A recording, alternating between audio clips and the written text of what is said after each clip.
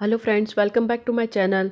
आज मैं आप सभी को डायंथस प्लांट की कैसे केयर करनी है, इसके बारे में बताऊँगी। इससे पहले अगर आपने मेरे चैनल को सब्सक्राइब नहीं किया है तो प्लीज़ मेरे चैनल को सब्सक्राइब करें और आप मुझे इंस्टाग्राम पर भी फॉलो कर सकते हैं।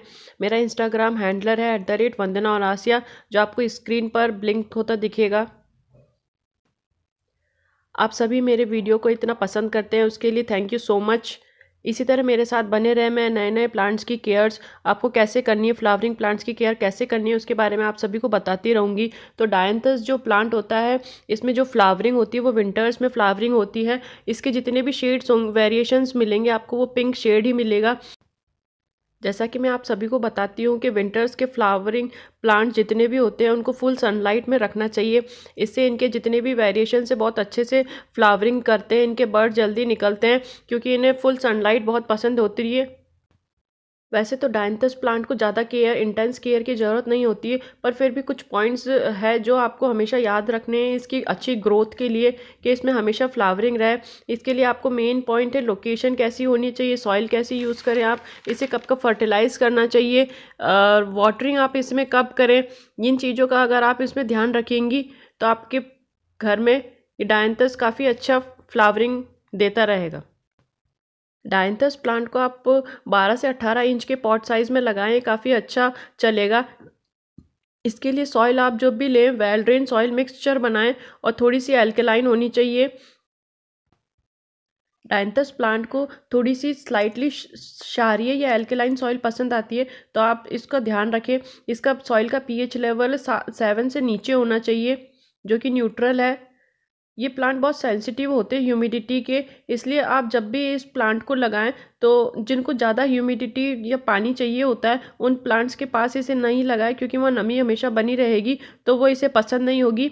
आप इन इसको पूरी सनी लोकेशन पसंद होती है तो आप जब भी इसे रखें अपने घर में, जहाँ पूरी सनलाइट मिल रही हो, वहीं आप इसे लोके रखना चाहिए।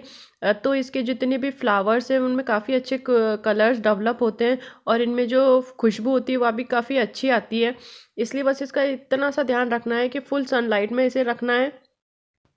विंटर के हर फ्लावरिंग प्लांट में आप जब भी पानी दें तो ये की बात का ध्यान रखें कि आप पहले सॉइल को चेक कर लें क्योंकि विंटर्स के फ्लावरिंग प्लांट्स काफ़ी सेंसिटिव होते हैं पानी के प्रति। तो हमें जब भी, इसी तरह ये भी है, इसे मॉडरेट वाटरिंग पसंद आती है। ना तो इसे ज़्यादा गीलापन पसंद है, ना ही ज़्यादा सूखी होनी चाहिए सॉइल तो आप जब भी पानी दें, दो इंच की सॉइल को चेक कर ले। अगर उसमें नमी है तो इसे पानी ना दें और अगर दो इंच की ऊपर की सॉइल सूख गई है तो आप इसे पानी दें। दोस्तों, इस अगर मैं फर्टिलाइज़र की बात करूँ तो इस प्लांट को जब भी आप नर्सरी से लाएँ और अपने घर में रीप्लांट करें तो आप इसे फर्टिलाइज़ ज़रूर करें ताकि अंडर स्ट्रेस में ना जाएँ और अच्छे से ग्रोथ करें। आप लिक्विड फर्टिलाइज़र हर चार सब हफ़्ते में फोर वीक्स में इसे प्रोवाइड कराते रहें ताकि इसमें अच्छे अच्छे फ्लावर्स बर्ड से जो निकलते रहें।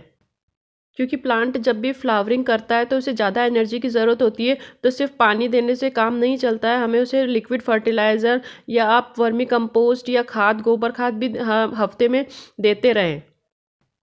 फ्रेंड्स जितने भी फ्लावरिंग प्लांट्स होते हैं, उनको कटिंग या प्रूनिंग की बहुत ज़्यादा ज़रूरत होती है। तो आप इस बात का ध्यान रखें, जो भी फ्लावर्स है, जिन ब्लूम जो खिल के मुरझा से गए हैं, जो वेल्ट हो गए हैं, उन्हें आप कट करके अलग कर दें, या कोई भी ब्राउन लीव्स हो गए येलो लीव्स हो गए, आप उन्हें भी कट कर दें।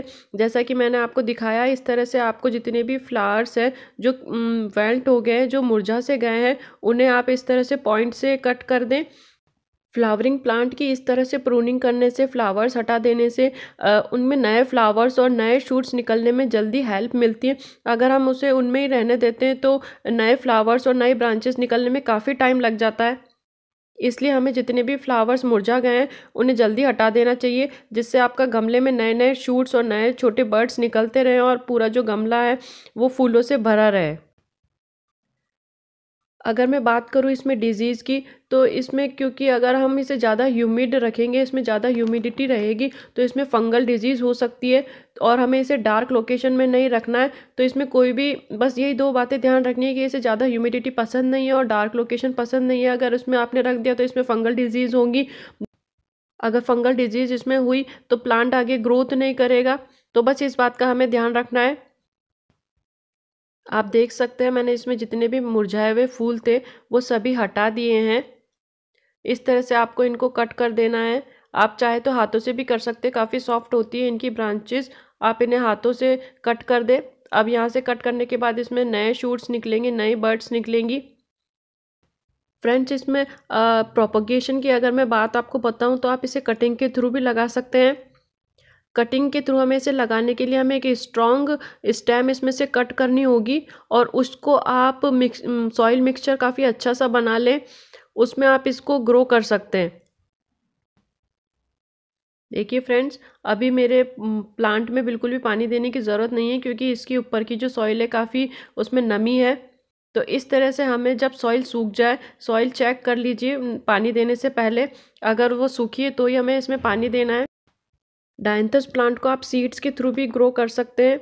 आप इसके सीड्स लेकर आए और उन्हें उन्हें ग्रो कर सकते हैं। काफ़ी अच्छी ग्रोथ होती है। या आप मदर प्लांट में से बेबी प्लांट्स जो भी निकलते हैं, उन्हें भी डिवाइड कर सकते हैं। इसके थ्रू भी आप इसे ग्रो कर सकते हैं। मदर प्लांट में से छोटे प्लांट्स को ग्रो करने के लिए हमें पूरे पौधे को जो है मिट्टी में से खोद के निकालना होगा, उसके बाद नाइफ से उसे ठीक से कट कर ले, जितने भी छोटे प्लांट्स उसमें से निकले हुए फिर उन्हें आप अलग से लगा दें। तो इस तरह से भी आप अपने नए प्लांट्स तैयार कर सकते हैं।